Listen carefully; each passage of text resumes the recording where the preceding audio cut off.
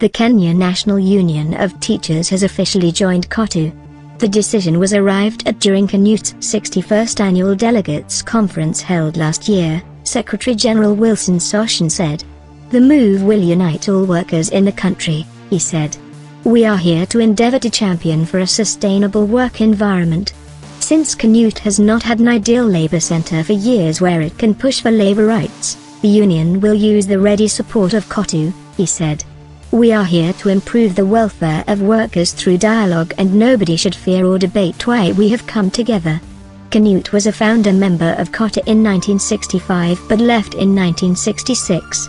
In 2014, Trade Union Congress TUC was launched. Sossion was among the brains behind it. KNUT pulled out of Trade Union Congress TUC in August 2018 following differences in labor issues. KNUT had hosted the Congress on its premises since 2014 and threatened to slap it with rent arrears. TUC had earlier raised concerns about Sossion's close association with COTU and had written a show cause letter in April 2018. Sossion, who was the TUC boss, was suspended in August 2018 the government's support for the Congress was seen as a way to weaken the monopoly of COTU and relinquish control it had to billions of shillings contributed by workers. On Thursday, Sossion said KNUT has to secure rights of workers freely without duress.